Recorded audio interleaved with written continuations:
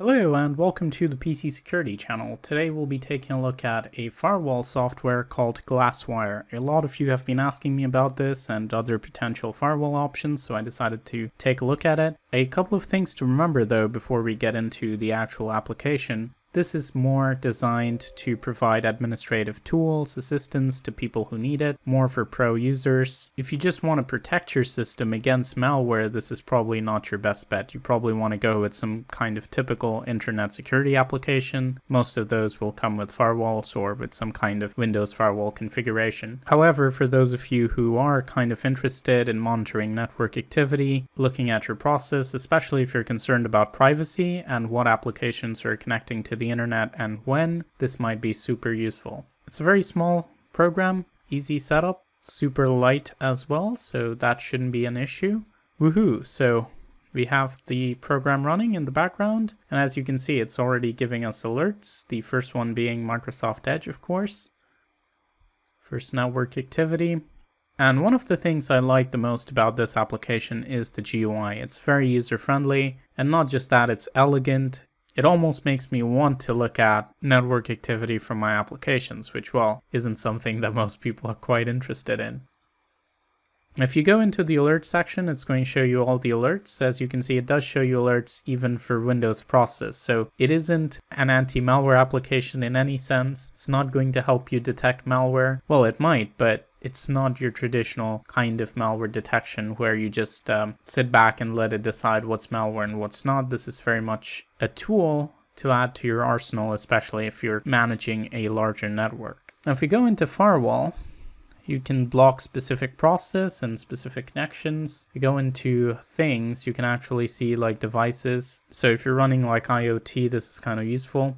You can also monitor network usage, so if your internet is slow and you think something is using a ton of data, you can do that. But then again, you can do that in Task Manager, so that isn't really a major feature. But some of the things that I am quite interested in, I'll show you in settings. So of course there's general and there's appearance, both the themes are excellent. Um, you can use the night theme if you want dark mode. If you go into security, action of RDP, so remote desktop protocol is constantly being exploited by malware. Ah, and you can see Microsoft as usual hogging up the internet, it's something it loves to do. This time it's Visual Studio. But yeah, going back to RDP, a lot of ransomware is actually distributed via first some kind of RDP attack, some kind of brute force that allows the attacker to gain access to your system, and then they use some kind of remote code execution to get the ransomware up and running. So something like this could prevent the initial attack, although I doubt if it's going to be able to actually stop ransomware from encryption, mostly because these days ransomware doesn't even necessarily require command and control server integration to be able to encrypt your data. Even if it can reach the server, it'll encrypt it anyway.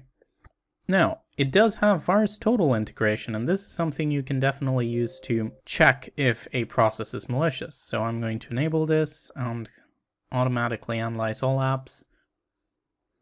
Once we have this option enabled, I think if we go into apps, okay, it's not here, it's in the firewall settings. So you have a little VirusTotal tab and any particular file, you can just click on analyze and it's going to give you the VirusTotal scan results.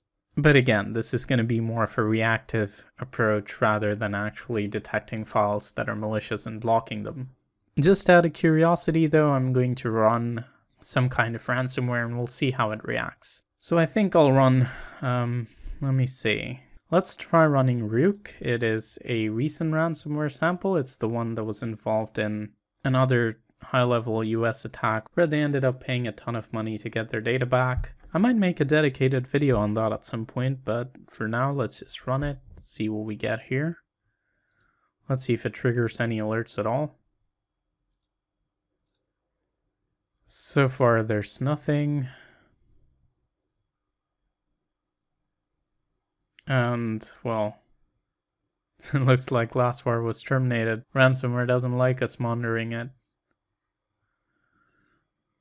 If I launch it again, I can definitely hear my fan ramping up. I'm guessing that's the ransomware at work. We have a lot of communication here, but that's just uh, the Windows host process. I'm not seeing any alerts, which is a little bit surprising. I would have thought that the ransomware would have triggered something. Ah, okay. Windows Defender Smart Screen. Probably checking the file in the background. As you can see, at the moment it's taking up quite a bit of CPU and our files are probably encrypted at this point. Okay, not yet. I think this is one of those samples which does the entire encryption and then all of a sudden everything changes. So I'm guessing it's just a matter of time. By the way, this is some kind of glitch. We do have access to the internet. I don't know why Windows thinks we don't. I'll just show you that we do. So it seems to detect every legitimate activity, but uh, not the ransomware. Maybe because the ransomware hasn't communicated at all. Huh, that would be disappointing. Let's see if I can find another sample that might try and reach its CNC. Let's try Spora. Have a little bit of a ransomware versus ransomware contest. See which one gets the data first. Okay, Ryuk is done. We have the ransom note. And our files are gone as well. Nice.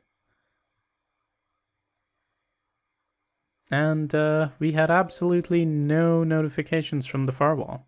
So that's interesting. And I believe this is Spora. So yeah, it managed to execute as well. Again, no alerts triggered. So probably a couple of these, maybe. But as you can tell, it's not going to be effective in terms of preventing any kind of actual attacks in, in most cases. It's one of the things a lot of people hype firewalls a lot. I've noticed some people actually ask me whether or not Glasswire is going to be useful in terms of preventing ransomware attacks. Some even say, well, I don't need an AV, I just use Glasswire. So no, this is not an AV replacement. It is not going to help you detect ransomware, trust me. I mean, I'm an experienced user and I know what I'm running. And still, if this was my own system, I wouldn't have noticed, right? There's no clear alerts. And even if there is some suspicious activity, it's very unlikely that you'll be able to pick it up and block it instantly. So this is more useful as a monitoring tool. If you want to look at your Windows activity when Windows is sneakily downloading something and go back and change your privacy settings, maybe if you want to know if some app is sending your data in the background, those are the kind of things if you're looking to dig around this might be useful. Again if you're network admin might be useful. I'm not saying this is a bad application but don't misunderstand its use case and don't run it on your system expecting it to protect you against ransomware because it just won't. So i hope you enjoyed this video. It's kind of a short one but i did want to do it just because of the number of people that seem to be using applications like these again i have nothing against glasswire it's a great application. I really like the UI. If I were a network admin, I'd probably use it. I do run it on my system sometimes just to kind of see what applications are connected to the internet and what data they're sending. Do I recommend it to everyday users as malware protection? Nah. Do I recommend replacing Windows Firewall with this for better security? Not really. As I said, if you don't use it correctly, this tool is probably not going to be relevant. For most general use cases, you're much better off getting an internet security application. But maybe you use it for something else. Let me know in the comments below. This is Leo.